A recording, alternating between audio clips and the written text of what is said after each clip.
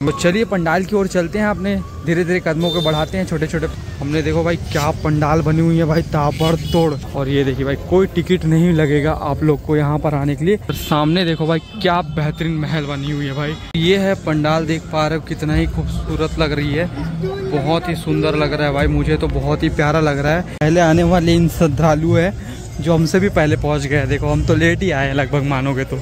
दोस्तों, कुछ जानकारी दे देता हूँ। इस मंदिर जो है, ये बनारस में है। सर्ववेद मंदिर बनारस में है और सेम यही थीम बनारस में है, जो कि ओरिजिनल मंदिर है, जो कि कुर्सी पर भिलाई पर बनी हुई है, ये वाली पंडाल इस वर्ष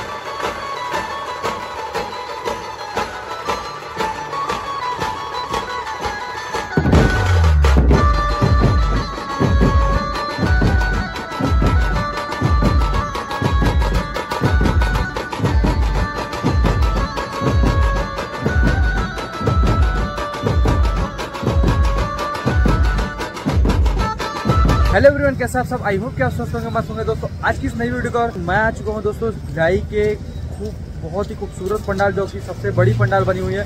कुर्सी पार पर, जिसको अंडा चौक, श्री राम चौक के नाम से भी जाना जाता है। तो चलिए दोस्तों, इस ब्लॉग पर आप लोग को यहाँ का गणेश जी के दर्शन कराता हूँ और खूबसूरत सी पंडाल आप लोग को दिखाता हूँ। तो वीडियो के लास्ट तक ज़रूर बने रहना और चैनल पर नए हो तो सब्सक्राइब कर लेना ताकि नई नई वीडियो का अपडेट आप तक पहुँच सके। दोस्तों, चलिए आगे बढ़ते हैं। और इस तरीके से निरंतर आप लोग को पूरा भिलाई का मैं गणेश जी दिखाने वाला हूँ। साथ ही साथ हो सके तो रायपुर की भी वीडियो आप लोग को हमारे चैनल पर मिलने वाली है तो सब्सक्राइब ज़रूर कर लेना। बहुत ही खूबसूरत सी यहाँ पर पंडाल बनी हुई है। देख पा रहे हो कुछ इस तरीके से, जो कि पूरी लाइटें लगी हुई हैं यहाँ पर, और लाइट भी बहुत ही खूबसूरत यूनिक लग रही है। भाई देखो कितना बेहतरीन। अभी तो आप लोगों को पंडाल भी दिखाता हूँ भाई। पंडाल भी बहुत ही ज़्यादा बेहतरीन बनी हुई है। चलिए पंडाल की ओर चलते हैं अपने धीरे धीरे कदमों को बढ़ाते हैं छोटे छोटे पैरों से। और पंडाल की ओर ये है, पूरा ग्राउंड भाई, पूरी घिरी हुई है।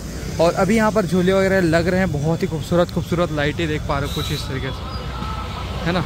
बहुत ही बेहतरीन और बहुत ही प्यारा है यहाँ पे पंडाल और लाइट देखिए चारों ओर, बहुत ही बढ़िया, सुंदर इस तरीके से झूमर भी लगाए हुए हैं ना? हाँ भाई। तो ये देखिए, खूबसूरत सी पंडाल बनी हुई है, सब लोग वीडियो बना रहे हैं और पहले दिन ही देखो दोस्तों कितने खूबसूरत, कितने लोग आए हुए दर्शन करने के लिए, जो कि पहले दिन आए हुए हैं, ये भी देखिए। आज पहला दिन है गणेश चतुर्थी की। तो चलिए यहाँ से अंदर चलते हैं। भाई लाइट वाइट बहुत ही प्यारा लग रहा है हमें और बहुत ही खूबसूरत और आ जाएँगे एक दिन। लेकिन आज पहला दिन दर्शन करना, भाई, हमने देखो भाई, क्या पंडाल बनी हुई है भाई ताबड़ तोड़ सो दोस्तों, यहाँ पर पूरे झूले वगैरह लगने वाले, ठीक है? और यहाँ पर ये भाई स्पाइडरमैन भी है यहाँ पे। ये देखिए पूरा, पूरे झूले लगे हुए हैं भाई, अभी भी झूले लग रहे हैं। और देखो, दोनों तरफ़ क्या ही खूबसूरत सी यहाँ पर लाइटें वगैरह लगी हुई है। झूले की तैयारी थोड़ा लेट हुआ है लग रहा है, अभी नहीं लगा हुआ है, ये लग रहा है धीरे धीरे लग जाएगा कुछ दिन बाद। और दर्शन करने काफ़ी लोग आए हल्का सा ये सुधार किए हैं पिछले बार से, नहीं तो यहाँ पर बहुत सारे कीचड़ रहते थे।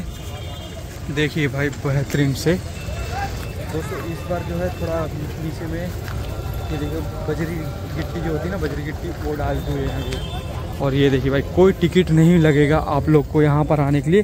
किसी भी चार्जेस नहीं है यहाँ पर। सिर्फ़ आओ, दर्शन करके चले जाओ भाई। कोई रेट नहीं लगेगा, कोई चीज़। ये है भाई अपना ड्रैगन ट्रेन इसमें बहुत ही खूबसूरत सा मेला लगता है कभी कभी नवरात्रि के टाइम तो लगता ही है। और गणेश के टाइम भी लगता है, लेकिन इस बार इस तरफ़ मेला लगाए हुए हैं। और ये पूरा मशीन है।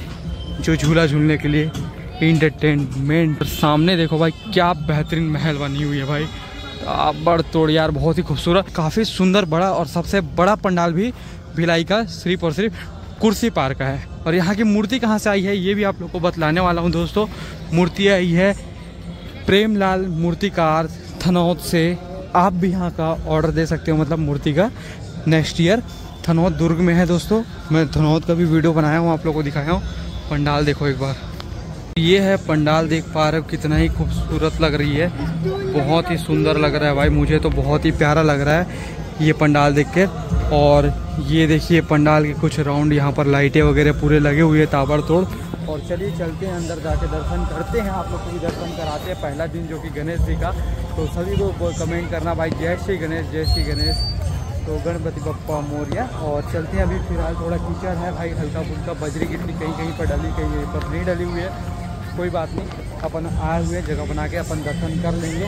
कोई दिक्कत नहीं, मन साफ़ होना चाहिए, जगह साफ़ हो जाती है। तो चलिए एक बार दिखाते हैं आप लोग को कुछ इस तरीके से पंडाल की नज़ारे।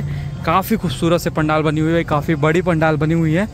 चलिए आगे बढ़ते हैं और दिखाते पहले आने वाले इन श्रद्धालु है, जो हमसे भी पहले पहुँच गए देखो, हम तो लेट ही आए हैं, लगभग मानोगे तो। है ना? चलो फिर भी जल्दी आ गए। चलिए दर्शन करते हैं, आप लोग को दर्शन कराते हैं, अंदर में गाना चल रही है भाई। कॉपी रेट आएगी भाई थोड़ी, देखना पड़ेगा उसके लिए। सामने बाहर यहाँ पे भी हॉर्स लगी हुई, यहाँ पे भी हॉर्स लगी हुई है। और एक बार बाहर देखो, यहाँ पर झूले लगे हुए हैं। इतना बेहतरीन सा वहाँ पर। और ये नज़ारे, ये भीड़, ये है। थर्मोकॉल लगी हुई है भाई, पूरे थर्मोकॉल से बनी हुई है, देखो। ये। दोस्तों, कुछ जानकारी दे देता हूँ। इस मंदिर जो है, ये बनारस में है। सर्ववेद मंदिर बनारस में है और सेम यही थीम बनारस में है, जो कि ओरिजिनल मंदिर है, जो कि कुर्सी पर भिलाई पर बनी हुई है, ये वाली पंडाल इस वर्ष। काफ़ी सुंदर लग रही। है इसलिए मैं अभी पंडाल के जो सदस्यगण हैं, इस समिति के जो सदस्यगण हैं, उनसे पूछने गया था कि कौन सी थीम पे बनी है और कौन सा मंदिर है। तो सर्ववेद मंदिर बनारस की है।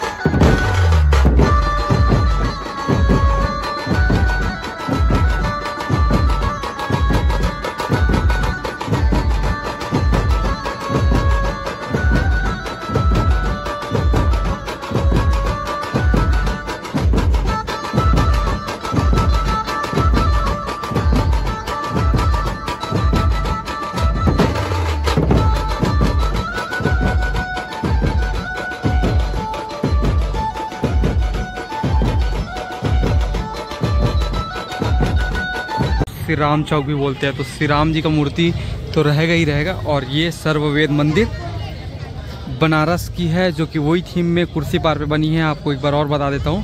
काफ़ी खूबसूरत सी और देखो कितने भीड़ अभी श्रद्धालु आ ही रहे हैं अभी भी।